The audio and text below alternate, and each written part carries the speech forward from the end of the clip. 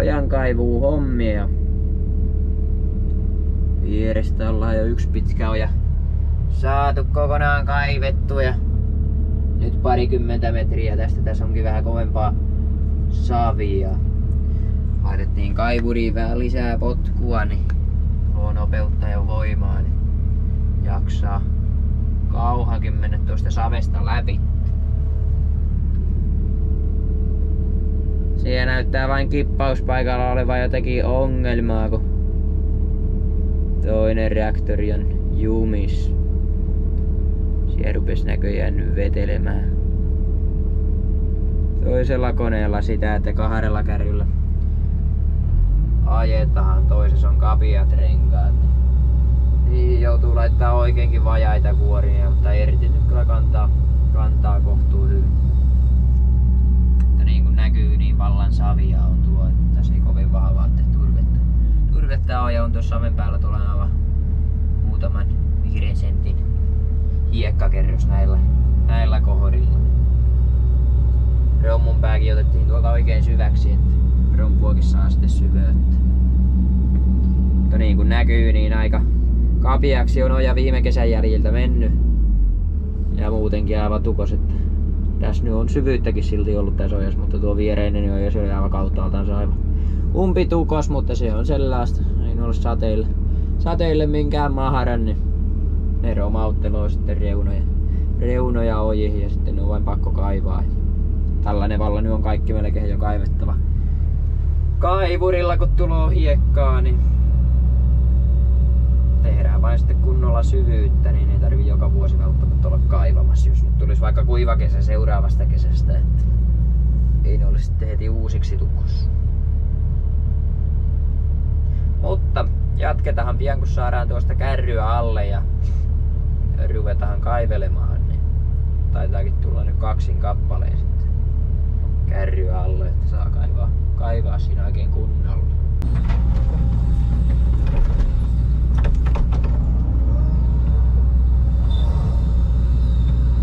No niin. Nyt päästiin työn pariin.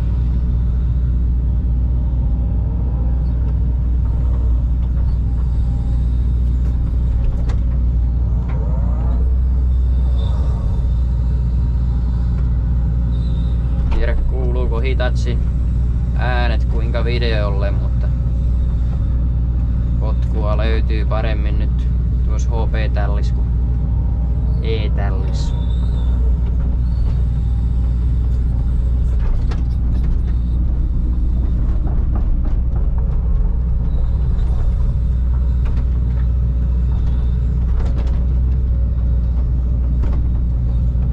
Hujaapa tässä nyt yrittää nuo penkakki pettää vielä telojen alta. Aiemmin ei ollut kyllä sellaista ongelmaa, mutta näköjään sortuu vielä tuo reutakerros tuosta.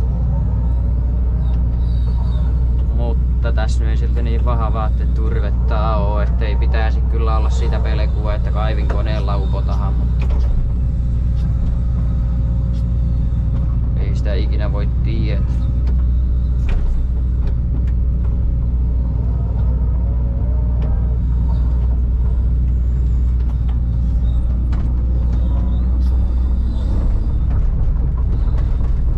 Se on jopa aivan harvinaista näin keväällä, kun päästään kaivamaan ojia ja siirtämään maata tällaista rallia, mitä tässä nyt ollaan koko viikko vedetty.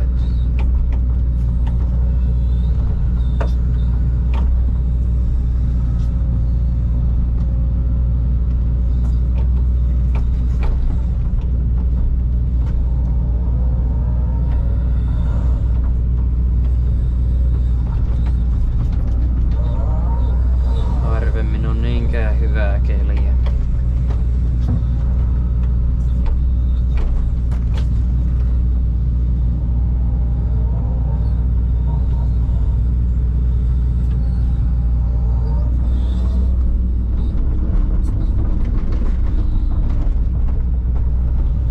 Kärryys ei ole perälaitaa, niin pitää vähän tätä slerpaa yrittää laittaa toisiin kärryihin tai tuonne oikein etupäähän, ettei se valu kenttä.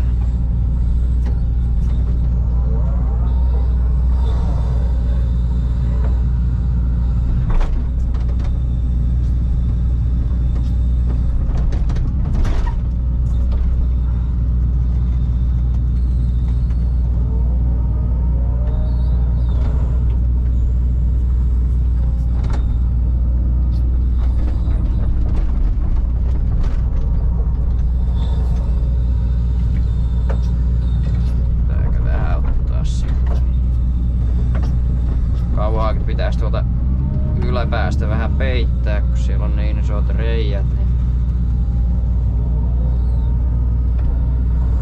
ei se valuttaa sit tuota märkää tavaraa läpi kenttää, jos siinä on hiekkaa, niin sitten hiekat on kentässä.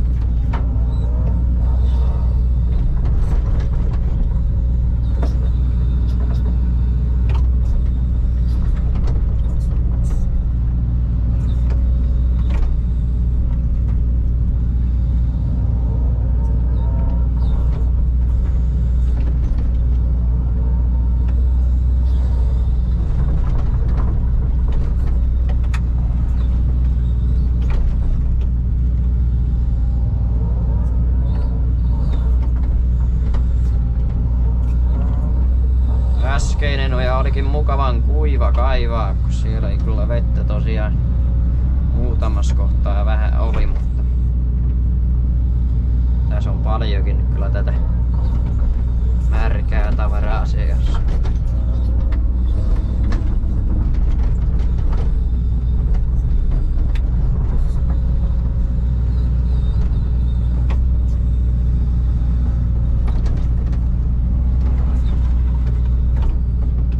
passaa sitten aina olla vähän sotkemista.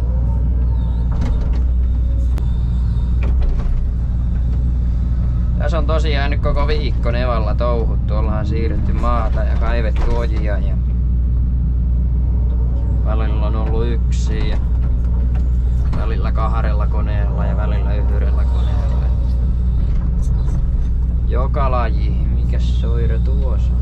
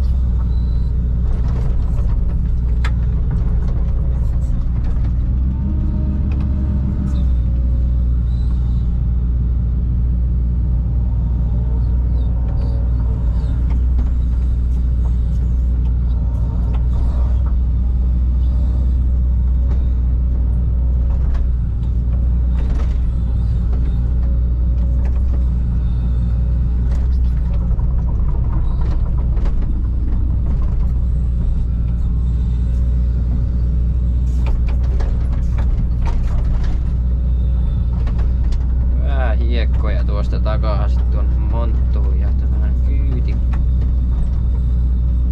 Näis vallan taitaa olla turvetta näissä reunuissa kuitenkin. Pykätä tuonne kentän puolelle. Jämerästi tässä nyt rupesi kyllä tuo rauta vettämään telojen alta.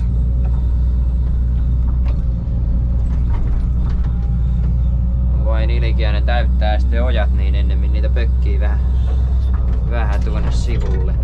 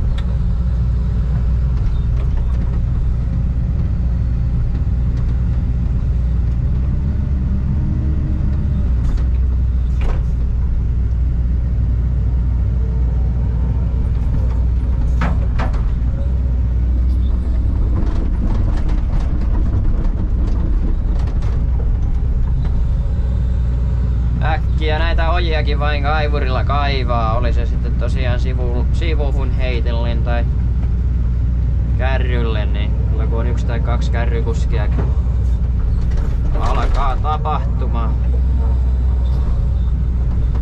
Yksin se on vähän tällaisen ojankin kaivuu perseestä, jos on itse traktorinkin puikois, kun sinne joutuu koko ajan hypätä ja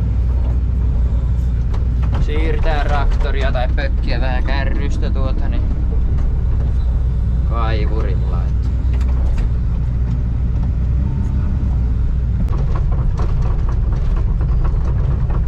Mutta eiköhän tässä nyt ojan kaivuuta ollut riittävästi ainakin yhteen videoon.